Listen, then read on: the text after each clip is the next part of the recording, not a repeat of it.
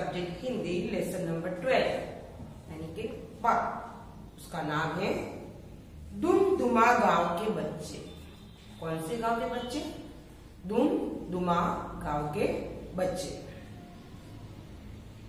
तो ये बच्चों से अपार क्षमता होती है, शक्ति।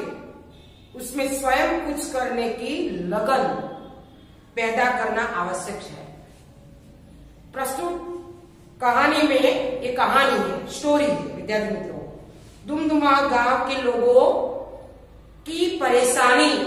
किसकी परेशानी है? कि पानी की जो, कि जो दूर करने के लिए बच्चे कैसे कदम उठाते हैं, उसका निरूपण ये स्टोरी में किया गया है।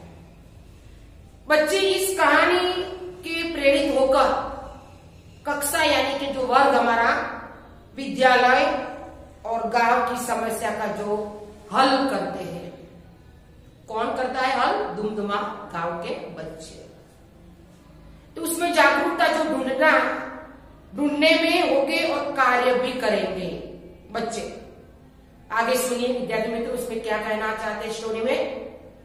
ये दुमदुमा गाँव है, यह हमेशा पानी की कमी रहती है। कमी એટલે जस्ट अभाव पानी यानी कि जल नीर खेत खूब जाते हैं खेत सूख जाते हैं लोग परेशान परेशान दुखी या व्याकुल रहते हैं पर कोई उपाय उपाय युक्ति या तरकीब नहीं कर पाते बच्चे पानी से खेलना चाहते तैरना चाहते पर कहा एक दिन बच्चे खेल के मैदान में इकट्ठा हुए उन्होंने पानी की कमी दूर करने की सोची। मैं बादलों से प्रार्थना प्रार्थना यानी कि विनंती करूँगा और रोज बरसो बिल्लू बोला। बादल रोज कैसे बरस सकते हैं? महिमा बोली, रोज कैसे बरस सकते हैं? इसका जो मौसम होता है, मानसून का तभी वो बरस पाते लेकिन दूसरे मौसम की तो ज़रूर कहा है तब फिर क्या हो सब सोचने लगे। क्यों ना एक बड़ा सा गड्ढा गड्ढा है खड्डा खोदे, जिसमें बारिश का खूब सारा पानी भर जाए। कौन बोला ये? रजिया। हाँ हाँ यह ठीक है। सारे बच्चे बोले, फिर बच्चे लाए, पावड़े का उनके कढ़ाई, कुदाले और तसले। तसले कटोरे के आकार का जो बर्तन।